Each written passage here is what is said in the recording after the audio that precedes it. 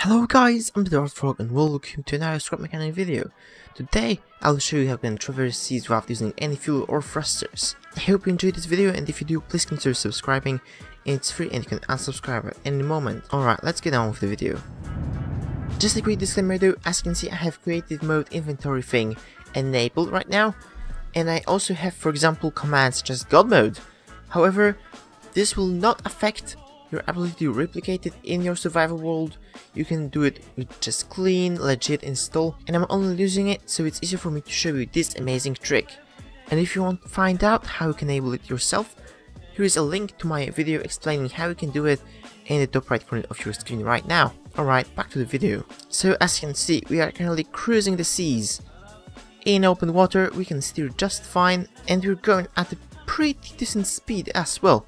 This is actually a little bit faster than just swimming normally. And this whole trick is actually pretty cheap to make as well. But for that, let's go on land and I'll explain you everything. Alright, we are currently approaching the shores, but worry not. Because we can actually go on land with this vehicle. So let's hit the beach and as you can see, there we go, we are now cruising the lands as well. So the concept itself is actually pretty simple. First of all, you need some kind of floating base that will allow you to, of course, you know, stay at the surface of the water and not sink. The second thing is a cage for your woc, because wocs are a primary source of power here. So I highly also suggest that you don't build just the fence around it, but the roof as well, because the woc can sometimes turn into a ragdoll and they could fall out of your boat and then you would be left stranded at sea which you probably don't want. The next thing that we need is a cart on a stick or rather a corn on a stick. As for controlling the vehicle we will need some kind of a driver thing like for example this driver saddle right here as well as a suspension glitch steering which you can see at the back right here. And if you didn't know how to make suspension glitch steering here's a tutorial. Basically all you need is first of all place down a bearing. Some kind of a block. I suggest using something with smaller collision like this pack right here. Then you place some kind of a suspension on this. It can be just level 1 suspension. I also suggest filling around a little bit with the limit because this can increase or decrease the performance of your suspension and make it more and less stable.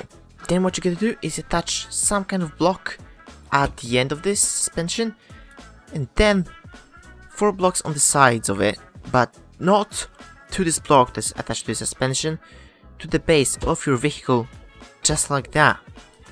Now the last thing that you obviously need is some kind of way to steer this. So for example, I'm gonna use this saddle right here, connect it to the bearing. As you can see, whenever I turn, this block right here will push into those blocks, which will cause the whole thing to rotate just like this. And if you want your vehicle to be able to drive on land as well, like mine can, I also suggest you add wheels or for example the drills or other similar part that has low friction.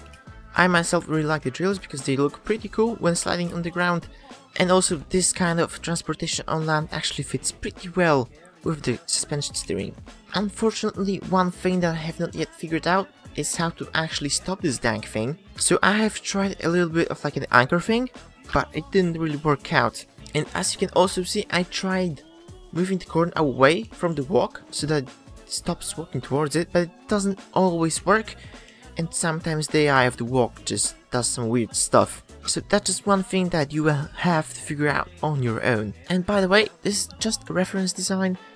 You might want to make your boat look very much differently. This is just something that I put together quickly to show you this amazing trick. And another advice I have to give you is to make the wall the woc is actually hitting to push you forward a little bit more massive as in with more area because for example if you were to just leave um, something like on the sides right there it would have way way less efficiency so because I have commands enabled, let's spawn ourselves walking here so that I don't have to catch it, but it's just the same as if you were to catch it your, by yourself.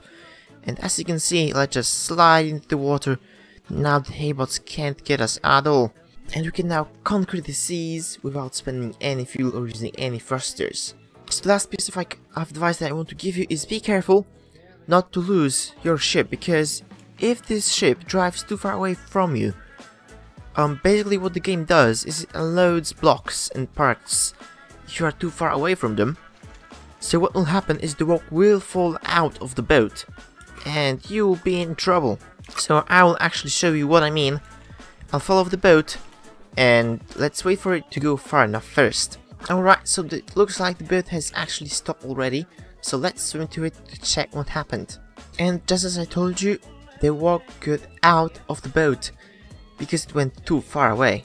But as long as you are actually near the boat, nothing bad should happen. So if we span ourselves another woc and we start going, no matter for how long we are gonna go, we shouldn't encounter any problems.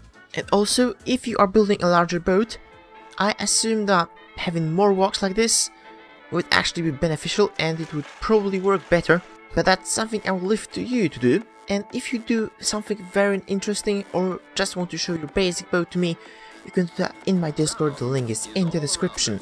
Alright, so I really hope you guys enjoyed this video. If you did, please leave thumbs up and subscribe for more similar content to this one. Also remember to check out my Discord server. I was Frog and I hope to see you in another one. Bye!